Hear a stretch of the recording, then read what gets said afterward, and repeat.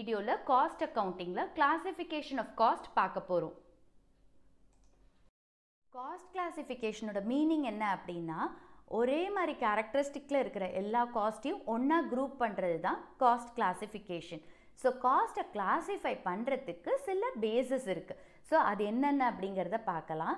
First காஸ்ட்டை classify பண்ணுறதுக்கு bases வந்து எலமெண்ட்ஸ் பேசிஸில் கிளாஸிஃபை பண்ணுறாங்க நெக்ஸ்ட்டு காஸ்ட் எப்படி கிளாஸிஃபை பண்ணுறாங்கன்னா அக்கார்டிங் டு ஃபங்க்ஷன்ஸ் நெக்ஸ்ட்டு காஸ்ட்டை கிளாஸிஃபை பண்ணுறது according to nature next cost எப்படி கிளாஸிஃபை பண்ணுறாங்க எந்த பேசிஸில் அப்படின்னா according to controllability and next cost எப்படி கிளாஸிஃபை பண்ணுறாங்க on the basis of normality and லாஸ்ட்டாக காஸ்ட் எப்படி கிளாஸிஃபை பண்ணுறாங்க அப்படின்னா on the basis of decision making so இப்படி தான் காஸ்ட்டை கிளாஸிஃபை பண்ணுறாங்க இதை டீட்டெயில்டாக நம்ம பார்க்கலாம். Cost classification according to elements காஸ்ட்டை கிளாஸிஃபை பண்ணுறதுக்கு நம்ம த்ரீ எலமெண்ட்ஸ் வச்சு கிளாஸிஃபை பண்ணுறோம் அது என்னென்ன எலமெண்ட்ஸ் அப்படிங்கிறத பார்க்கலாம். ஃபர்ஸ்ட் ஒன் வந்து மெட்டீரியல்ஸ் மெட்டீரியல்ஸ் அப்படிங்கிறது ஒரு ப்ராடக்டை மேனுஃபேக்சர் பண்ணுறதுக்கு சில கமாடிட்டிஸ் தேவைப்படுது. அந்த கமாடிட்டிஸ் வச்சு தான் ப்ராடக்டை மேனுஃபேக்சர் பண்ணுறாங்க அண்ட் அதோட காஸ்ட்டை தான் நம்ம மெட்டீரியல் காஸ்ட் அப்படின்னு சொல்லுவோம். மெட்டீரியல்ஸ் வந்து ரெண்டு விதமாக இருக்குது ஃபர்ஸ்ட் டைப் வந்து டைரக்ட் மெட்டீரியல்ஸ் டைரக்ட் மெட்டீரியல்ஸ் அப்படிங்கிறது அவுட்புட்டில் இந்த மெட்டீரியல்ஸை நம்மளால் பார்க்க முடியும். அதுதான் direct materials for example leather வச்சு ஷூ மேனுஃபேக்சர் பண்ணுறோம் ஸோ ஷூங்கிறது ஃபைனல் ப்ராடக்ட் அந்த ஃபைனல் ப்ராடக்ட் ஷூவில் நம்ம இந்த லெதரை பார்க்க முடியும். ஸோ அதுதான் டைரக்ட் மெட்டீரியலோட ஒரு example next indirect materials indirect materials அப்படிங்கிறது அவுட்புட்டில் இந்த மெட்டீரியல்ஸை நம்மளால் பார்க்க முடியாது. பட் இந்த மெட்டீரியல்ஸ் வந்து ஒரு ப்ராடக்டை மேனுஃபேக்சர் பண்ணுறதுக்கு சப்போர்ட் பண்ணும். ஃபார் எக்ஸாம்பிள் ஷூவை மேனுஃபேக்சர் பண்ணுறதுக்கு சில டூல்ஸு நீடில்ஸ் இந்த மாதிரிலாம் யூஸ் பண்ணியிருப்பாங்க. பட் அதை வந்து நம்ம ஷூவில் பார்க்க முடியாது. ஸோ இந்த டூல்ஸும் நீடில்ஸும் சப்போர்ட் பண்ணியிருக்கு அந்த ஷூவை மேனுஃபேக்சர் பண்ணுறதுக்கு அதெல்லாம் தான் இன்டைரக்ட் மெட்டீரியல்ஸோட ஒரு எக்ஸாம்பிள் நெக்ஸ்ட் எலமெண்ட் வந்து லேபர் லேபர் அப்படிங்கிறது ஒரு ஆர்கனைசேஷனோட ஒர்க்கர்ஸ் ஆர் எம்ப்ளாயீஸை தான் லேபர்னு சொல்லுவோம். அண்ட் அவங்களுக்கு பே பண்ணுற ரெமுனரேஷன் தான் லேபர் காஸ்ட் ஸோ லேபர் காஸ்ட்டை வச்சு கிளா காஸ்ட்டை கிளாஸிஃபை பண்ணுறாங்க ஸோ லேபர் காஸ்ட் அப்படிங்கிறது ரெண்டு விதமாக இருக்குது ஃபர்ஸ்ட் ஒன் வந்து direct labour cost direct labour cost அப்படிங்கிறது எந்த லேபரர்ஸ் எல்லாம் டைரெக்டாக ஒரு ப்ரொடக்ஷன் ப்ராசஸில் இன்வால்வ் ஆகுறாங்களோ அவங்களுக்கு பே பண்ணுற வேஜஸ் தான் டைரக்ட் லேபர் காஸ்ட் இதை நம்ம டைரக்ட் வேஜஸ் அப்படின்னும் சொல்லலாம். ஃபார் எக்ஸாம்பிள் ஃபர்னிச்சர் மேனுஃபேக்சர் பண்ணுறது கார்பெண்டர் ஸோ கார்பெண்டர் வந்து இந்த ஃபர்னிச்சரை ப்ரொடியூஸ் பண்ணுறதுக்கு டைரெக்டாக என்கேஜ் ஆகிருக்காரு ஸோ அந்த கார்பெண்டருக்கு பே பண்ணுற வேஜஸ் டைரக்ட் வேஜஸ் இன்னொரு டைப் வந்து indirect labour cost indirect labour cost இந்த காஸ்ட்டை வந்து நம்ம அந்த ப்ரொடக்ஷனில் பார்க்க முடியாது. அவுட்புட்டில் நம்ம பார்க்க முடியாது. இந்த மாதிரி லேபரர்ஸ் வந்து டைரெக்டாக ப்ரொடக்ஷன் ப்ராசஸில் இன்வால்வ் ஆயிருக்க மாட்டாங்க. ஓகே ஸோ ஃபார் எக்ஸாம்பிள் ஒரு மேனுஃபேக்சரிங் யூனிட் இருக்குது அதை மெயின்டைன் பண்ணுறதுக்கு ஸ்வீப்பர்ஸ் இருப்பாங்க. ஸோ அந்த ஸ்வீப்பர்ஸ் அப்படிங்கிறது இன்டைரக்டாக ஹெல்ப் பண்ணுறாங்க அந்த ப்ராடக்டை ப்ரொடியூஸ் பண்ணுறதுக்கு பட் டைரெக்டாக அவங்க அந்த ப்ராடக்டை ப்ரொடியூஸ் பண்ணுறதுக்கு என்கேஜ் ஆகிருக்க மாட்டாங்க. அவங்களுக்கு பே பண்ணுறது தான் இன்டைரக்ட் லேபர் காஸ்ட் அதே மாதிரி ஒரு ஃபேக்ட்ரி இருக்குது அந்த ஃபேக்ட்ரிக்கு ஒரு வாட்ச்மேன் இருக்காங்க. அந்த வாட்ச்மேன் வந்து அந்த ஃபேக்ட்ரியை பார்த்துக்கிறாரு பட் டைரெக்டாக ஒரு ப்ரொடக்ஷன் ப்ராசஸ்க்குள்ளே வரதில்லை. ஸோ அவருக்கு பே பண்ணுற வேஜஸ் வந்து indirect labour cost so labour காஸ்ட்டை வச்சு காஸ்ட்டை கிளாஸிஃபை பண்ணுறோம் நெக்ஸ்ட் எலமெண்ட் வந்து எக்ஸ்பென்சஸ் எக்ஸ்பென்சஸ் அப்படிங்கிறது மெட்டீரியல் காஸ்ட்டும் இல்லாமல் லேபர் காஸ்ட்டும் இல்லாமல் மற்ற எக்ஸ்பெண்டிச்சர்ஸை தான் நம்ம எக்ஸ்பென்சஸ் அப்படின்னு சொல்லுவோம். இந்த எக்ஸ்பென்சஸும் நம்மளுக்கு ரெண்டு விதமாக இருக்குது ஒன்று வந்து டைரக்ட் எக்ஸ்பென்சஸ் டைரக்ட் எக்ஸ்பென்சஸ் அப்படிங்கிறது நம்ம அவுட்புட்டோட டைரெக்டாக லிங்க் ஆகிருக்கும் அதுதான் டைரக்ட் எக்ஸ்பென்சஸ் ஃபார் எக்ஸாம்பிள் ஒரு ப்ராடக்ட்டை டிசைன் பண்ணுறதுக்கு சில காஸ்ட் இன்வால்வ் ஆகிருக்கும் அதெல்லாம் டைரக்ட் எக்ஸ்பென்சஸ் ஏன்னா அந்த டிசைன் ப்ராடக்ட்டோட டிசைன் அந்த ப்ராடக்ட்டில் கடைசியாக நம்ம பார்க்க போகிறோம் ஸோ அதோட காஸ்ட்டை தான் வந்து நம்ம டைரக்ட் எக்ஸ்பென்சஸ் அப்படின்னு சொல்லுவோம். இன்னொன்று வந்து இன்டைரக்ட் எக்ஸ்பென்சஸ் இன்டைரக்ட் எக்ஸ்பென்சஸ் அப்படிங்கிறது அவுட்புட்டோட டைரெக்டாக ஐடென்டிஃபை பண்ண முடியாது இந்த எக்ஸ்பென்சஸ் அதுதான் இன்டைரக்ட் எக்ஸ்பென்சஸ் ஃபார் எக்ஸாம்பிள் அதே ஃபேக்ட்ரியில் ஒரு ப்ராடக்ட் மேனுஃபேக்சர் ஆகிற ஃபேக்ட்ரியில் நம்ம ரெண்ட்டுக்கு எடுத்திருந்தாங்கன்னா ரெண்ட் பே பண்ணுவாங்க. லைட்டிங் பவர் இந்த மாதிரி எல்லாம் யூஸ் பண்ணுறாங்க இதெல்லாம் indirect expenses so cost classification according to elements அப்படின்னு சொல்லும்போது நம்ம த்ரீ எலமெண்ட்ஸை ஞாபகம் வச்சுக்கணும். ஒன்று வந்து மெட்டீரியல் லேபர் எக்ஸ்பென்சஸ் அண்ட் இப்போ இந்த direct material direct labour and direct எக்ஸ்பென்சஸை நம்ம என்னன்னு சொல்லுவோம் அப்படின்னா ப்ரைம் காஸ்ட்னு சொல்லுவோம்.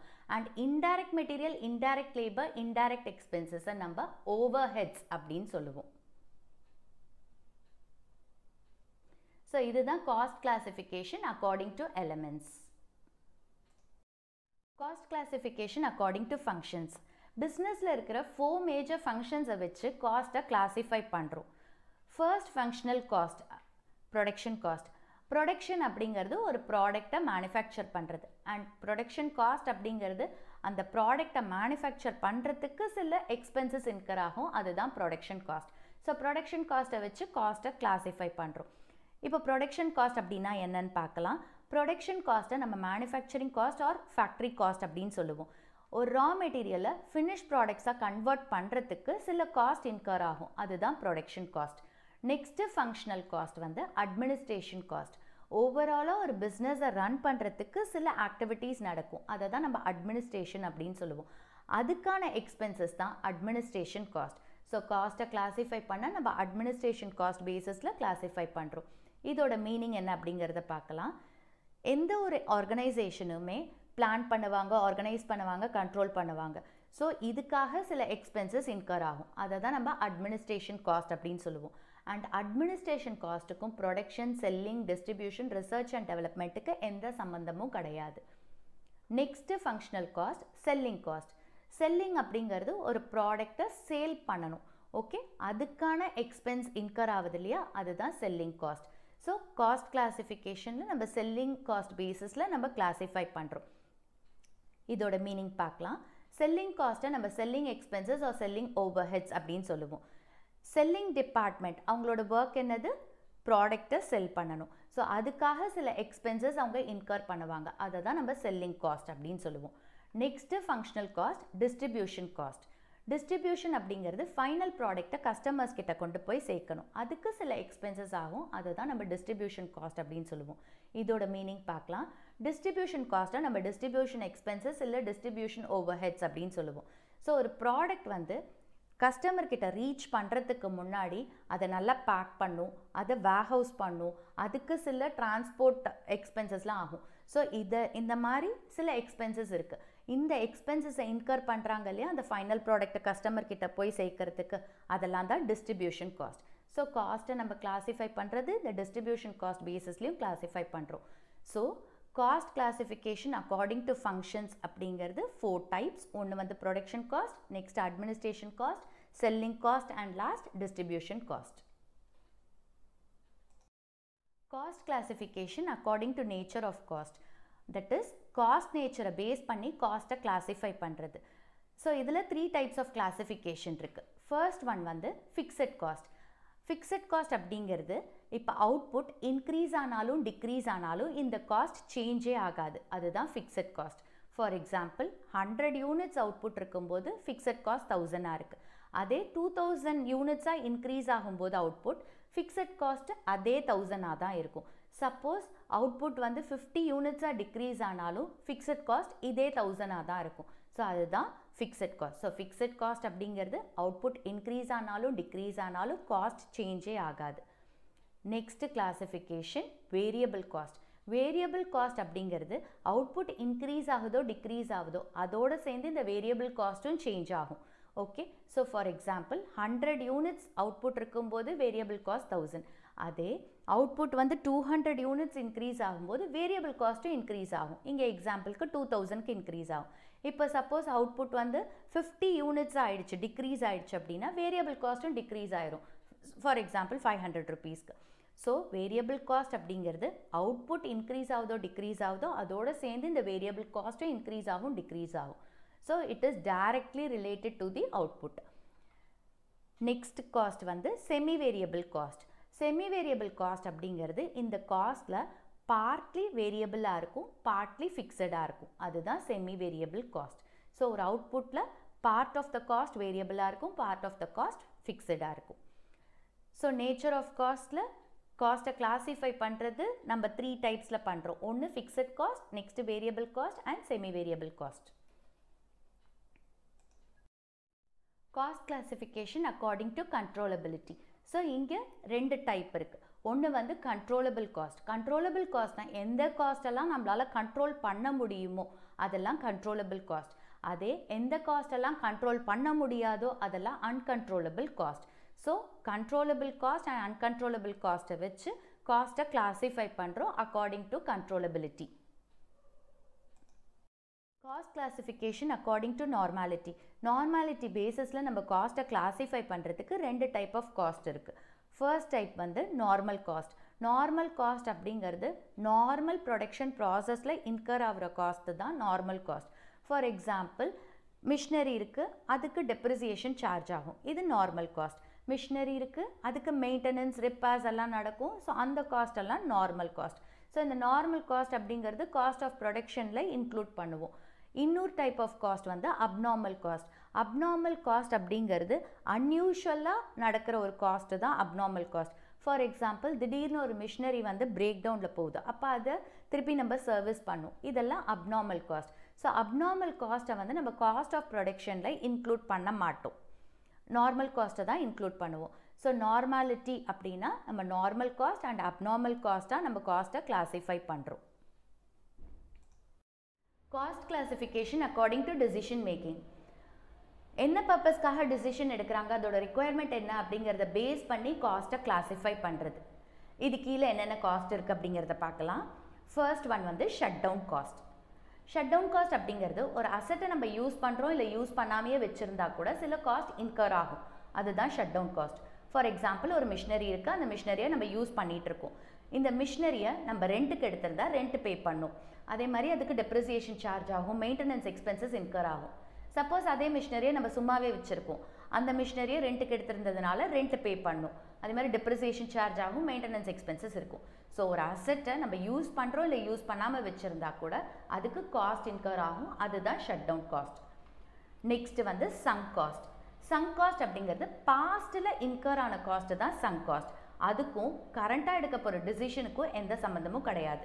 ஃபார் எக்ஸாம்பிள் நான் ஒரு மிஷினரியை ரீப்ளேஸ் பண்ணும் இந்த மிஷினரிக்கு நான் பாஸ்ட்டில் ரிட்டன் டவுன் வேல்யூ மெத்தட் வச்சு கால்குலேட் பண்ணியிருக்கேன் டெப்ரிசியேஷனை அதுக்கும் இன்றைக்கி நான் ரீப்ளேஸ் பண்ணலான்னு எடுக்கிற டிசிஷனுக்கும் எந்த சம்மந்தமும் கிடையாது. அதுதான் சங் காஸ்ட் நெக்ஸ்ட்டு வந்து ஆப்பர்ச்சுனிட்டி காஸ்ட் ஆப்பர்ச்சுனிட்டி காஸ்ட் அப்படிங்கிறது சப்போஸ் ஒரு பிஸ்னஸ் பிஸ்னஸ் ஓனர் இருக்கார். அவர்கிட்ட டென் லேக் ருபீஸ் இருக்குது இந்த டென் லேக் ருபீஸை அவர் என்ன பண்ணலாம்? ரெண்டு சாய்ஸ் இருக்குது ஒன்று அவர் ஒரு புது மிஷினரி அந்த டென் லேக்ஸ்க்கு வாங்கலாம். இல்லைன்னா ஒரு பில்டிங் அவரோட பிஸ்னஸ் பர்பஸ்க்காக வாங்கலாம். இந்த பிஸ்னஸ் ஓனர் என்ன டிசைட் பண்ணுறாரு அப்படின்னா இந்த டென் லேக்ஸை வச்சு ஒரு நியூ மிஷினரி வாங்கலாம் அப்படின்னு டிசைட் பண்ணுறாரு அப்போ என்ன செய்கிறாரு பில்டிங்கோட பெனிஃபிட்ஸை சாக்ரிஃபைஸ் பண்ணி இந்த மிஷினரியை வாங்குறாரு. ஸோ ஆப்பர்ச்சுனிட்டி காஸ்ட் அப்படிங்கிறது ஒரு ஆப்பர்ச்சுனிட்டியை சாக்ரிஃபைஸ் பண்ணி அதோட பெனிஃபிட்ஸை சாக்ரிஃபைஸ் பண்ணுறோம்ல அதுதான் opportunity cost next cost imputed cost இதை நம்ம நோஷனல் காஸ்ட் அப்படின்னும் சொல்லலாம்.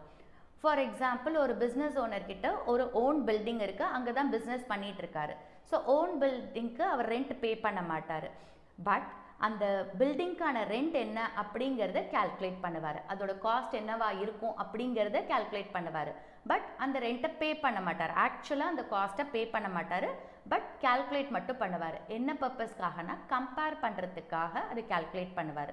அதுதான் imputed cost next cost replacement cost suppose நான் ஒரு அசட்டை வந்து ரீப்ளேஸ் பண்ணணும் அப்படின்னா இன்னைக்கு கரண்ட்டாக மார்க்கெட் வேல்யூவில் என்ன ரேட் இருக்கோ அதுக்கு தான் நான் ரீப்ளேஸ் பண்ணுவேன். ஸோ அந்த கரண்ட் காஸ்ட் தான் ரீப்ளேஸ்மெண்ட் காஸ்ட் அந்த கரண்ட் காஸ்ட் ஆஃப் தி அசட்டை தான் நம்ம ரீப்ளேஸ்மெண்ட் காஸ்ட்னு சொல்லுவோம். Next conversion cost conversion cost அப்படிங்கிறது ஒரு ரா மெட்டீரியலை ஃபினிஷ்ட் ப்ராடக்டாக கன்வெர்ட் பண்ணுறதுக்கு சில ப்ரொடக்ஷன் ப்ராசஸ் நடக்குது இல்லையா?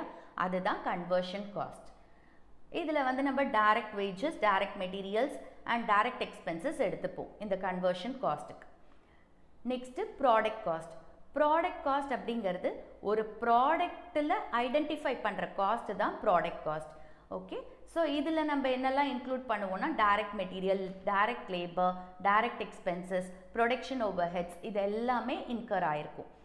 Next cost period cost period cost அப்படிங்கிறது ஒரு பர்டிகுலர் டைம் பீரியடில் என்ன காஸ்ட் இன்கர் ஆயிருக்கு அப்படின்னு பார்க்கறது தான் பீரியட் காஸ்ட் அண்ட் இந்த பீரியட் காஸ்ட்டை நம்ம ப்ராடக்ட்டில் நம்ம பார்க்க முடியாது. ஸோ ஒரு பர்டிகுலர் பீரியடில் என்ன காஸ்ட் இன்கர் ஆயிருக்கோ அதுதான் நம்ம பீரியட் காஸ்ட்டுன்னு சொல்லுவோம். So cost classification according to decision making கீழே இப்படி தான் நம்ம காஸ்ட்டை கிளாஸிஃபை பண்ணுவோம். இந்த வீடியோவில் எப்படி காஸ்ட்டை குரூப் பண்ணுறாங்க அதோட காமன் கேரக்டரிஸ்டிக்கை வச்சு அப்படிங்கிறத எலாபரேட்டாக பார்த்தோம். ஹோப் உங்களுக்கு இந்த வீடியோ புரிஞ்சிருக்கும்னு நினைக்கிறேன். தேங்க்ஸ் ஃபார் வாட்சிங் த வீடியோ